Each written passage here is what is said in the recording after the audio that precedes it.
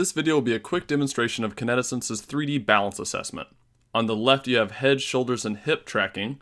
You can click bottom left for flip display to flip image, and then calibrate. On the right you have your transverse plane which will track a point on the top of the head, and below that you have different changes in joints.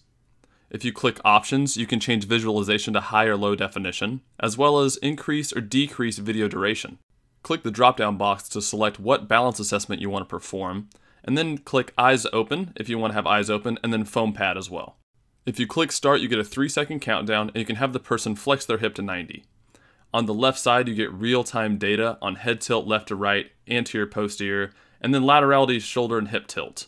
If you look on the right, we're doing the overhead tracking as well, where you can see where they fall and where they correct to. Below, we are tracking differences and changes in degrees of the head, shoulders, hips, knees, and stride. Now the system will take all of the data that you recorded for 20 seconds and put it into Kinetisense's algorithms.